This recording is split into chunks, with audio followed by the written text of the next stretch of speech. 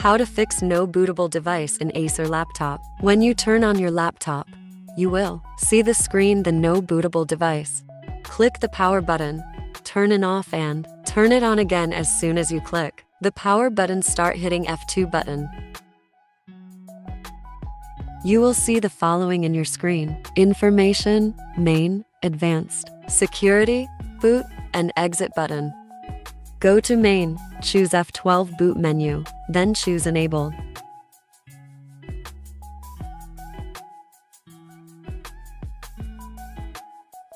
Next go to boot then click the UEFI and hit enter, then choose legacy, then OK.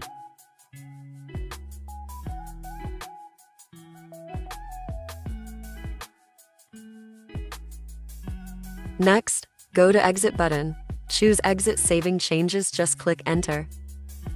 Then hit yes. Wait for 5 to 7 seconds, the device will restart on its own.